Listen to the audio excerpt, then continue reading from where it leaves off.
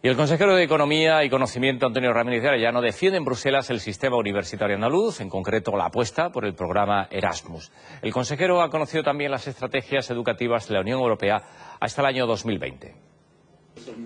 Ramírez de Arellano, acompañado por distintos rectores de universidades andaluzas, ha conocido de mano de Adrián Kirali, jefa del gabinete del comisario, el horizonte educativo europeo 2020 ante los nuevos retos del espacio europeo de educación superior.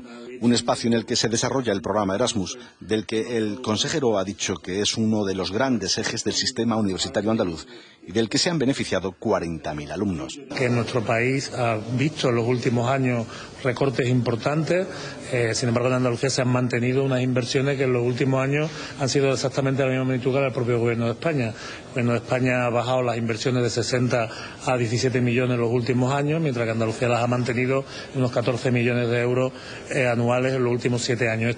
Ramírez de Arellano asistía además a la apertura de la Oficina Europea de la Conferencia de Rectores Españoles, el foro en el que las universidades andaluzas defenderán sus intereses en Bruselas. Desplegarán su línea de actuación, como el Plan Andaluz de Investigación, y estudiarán los modelos de financiación para desarrollar las estrategias universitarias europeas.